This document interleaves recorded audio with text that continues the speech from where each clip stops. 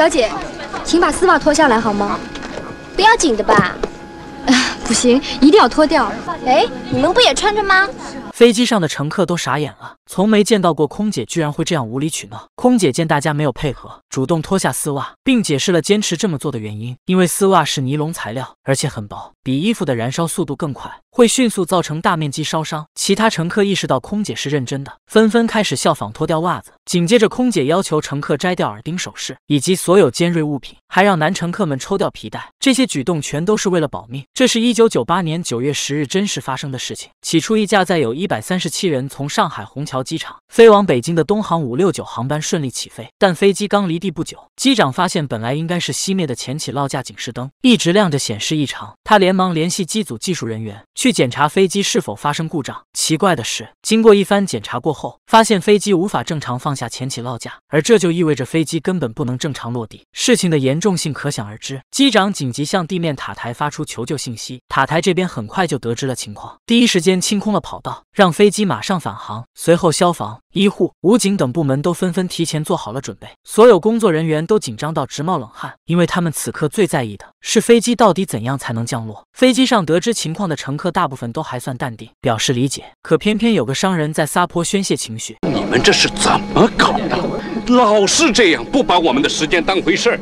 你这么一折腾，我今天晚上就算完了，什么事情都办不成了。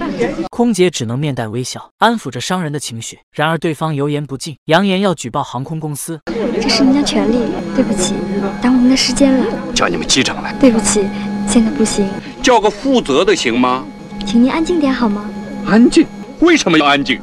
消费者不能发点声音吗？而与此同时，飞机返回到了虹桥机场的上空，工作人员迅速通过望远镜看到了飞机前起落架确实是没有放下，这也就意味着飞机不能降落，必须在上空不断盘旋。更让人头疼的是，飞机的燃油只够维持两个小时，时间有限，如果不快点找到解决方法，飞机上一百三十七名乘客以及空勤组很有可能会因此丧失性命。航空公司紧急组织专家团队，经过讨论后，提出了第一个解决方案。他们尝试穿云抛甩的方法，说人话就是飞机先向下加速俯冲，等将要接近地面时，瞬间往上拉升，看能否将前起落架甩出来。说干就干。虽然机长扛着巨大压力完成了这个动作，但警示灯依旧没有发生任何变化。紧接着，总指挥和机长取得联系，准备接着尝试第二种解决方法，就是飞机在天空中盘旋加速，然后猛地一个急转弯。可机长即使凭借多年的驾驶经验反复操作，依旧没能成功甩出前起落架，而且这接连的急转弯也让原本淡定的乘客们变得恐慌起来，纷纷对飞机的强烈颠簸表示不满。空姐们虽然内心也很害怕，但依旧强挤出微笑，耐心的安抚乘客们的情绪。在紧张的局势下，那名商人再次变得情绪激动，毫无理智的指控一定是乘务人员在搞鬼，一个劲的要求机长亲自出面给乘客们解释并道歉。您放心，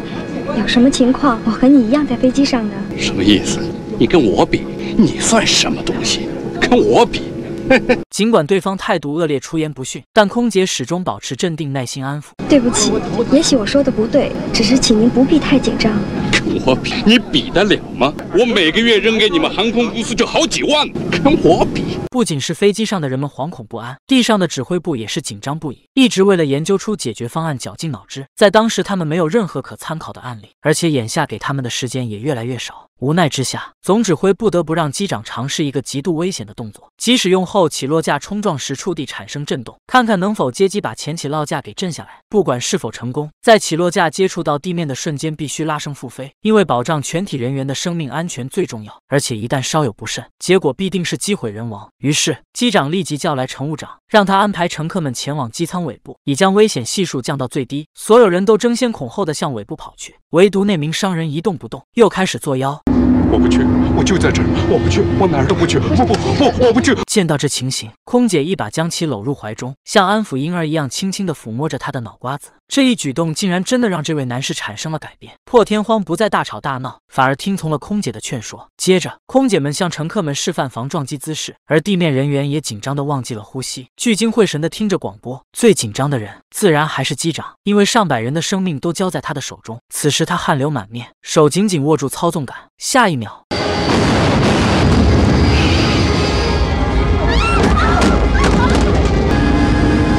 好在短暂的颠簸过后，飞机成功复飞。然而前起落架依然没有放下。更糟糕的是，这一次降落尝试的失败，让大部分乘客都感到了危机。不仅那名商人开始看着全家福伤心痛苦，就连一位老板也写下了遗书，表示自己如果出了意外，希望机组能让他的行李安然落地，因为刚刚掉落在地装满钱的箱子就是他的。他公司里还有许多工人在等待发工资，机舱内还有一对老夫妻，他们第一次坐飞机，本想去国外看看多年未见的孙子，没想到遇到了这种事。不只是乘客们崩溃，就连工作人员们也感到了绝望。大家开始聊起各自的家庭和孩子。副机长抽起了烟，即使不会抽烟的机长也跟着点了一根。在当时，所有人的无奈可想而知。眼看无法通过借力间接性的将起落架放下，那目前唯一可以做的方法就是派人直接敲打起落架，将它敲下去。可是，在万米高空之上，危险程度直接到达了顶点。但为了更多人的生命安危，一名机务自告奋勇站了出来。在他打开飞机底舱的瞬间，强大的气流立即扑面而来，机务不得不屏住呼吸，小心翼翼地向前一点点挪动。随后，他掏出铁锤，不停地用力敲打架杆。可没想到的是，起落架依旧还是未有任何反应。他连忙仔细观察，发现故障的原因竟然是因为左边的销子断了。这意味着无论如何起落架都不能正常放下。所以，想要让飞机安全着陆，眼下唯有进行紧急迫降。然而，这是中国民航第一次面临如此特殊的情况，且没有任何可供参考的成功案例。因此，总指挥不得不开始模拟各种可能的着陆姿势势。由于飞机的前起落架无法放下，如果选择机头先着地，很可能会造成机身摩擦起火，而且还会导致驾驶台失控。一旦笔直的撞向候机厅，后果根本无法想象。为了避免加剧事故，指挥部提出了在草地上进行迫降的方案。然而，飞机的重量很有可能使得它一落地，头部就会陷入泥土。再者就是过快的速度，惯性会导致机身后半部瞬间向前挤压，那么就会威胁到机舱内所有人员的生命。经过紧张的再三商议后，他们最终决定在地面上进行迫降，但一定要尽可能解决摩擦起火的问题。此时飞机的燃油仅够维持不到四十分钟，于是指挥部紧急调度大量消防车辆前往机场，在地面喷洒大量的防火泡沫，以此努力避免飞机起火。而机舱内，乘务长迅速向乘客们告知迫降消息，要求他们摘掉身上的尖锐物品和部分衣物，以免飞机起火衣物粘连在身上，造成更大的危险。等一切准备就绪后，随着乘务长的一声通知，机舱内渐渐变暗。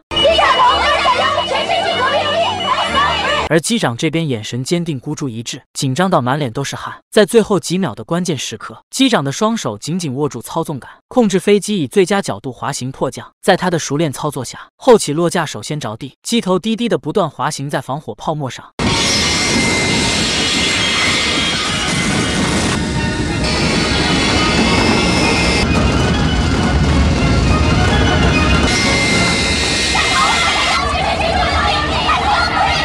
此刻，所有人的心都提到了嗓子眼，紧张得满头大汗。幸运的是，在经过一段时间的滑行后，飞机终于停了下来。然而，危险并没有完全解除。尽管防火泡沫起到了重要作用，但飞机机头与地面摩擦后过于高温，依旧有可能导致爆炸的危险。好在地面部门早已做好了充分的准备，消防、武警。医护等人员第一时间迅速赶到，实施喷水和救援工作。同时，空姐也迅速打开逃生舱，在大家的共同努力配合下，一百三十七名乘客无一伤亡。这次事件展现了中国的力量和团结精神，